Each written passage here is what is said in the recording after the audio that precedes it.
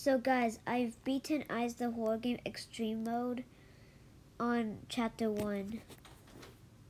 And I did it on Krasue. Okay guys, so thank you for watching. Short video again, sorry. Like and subscribe.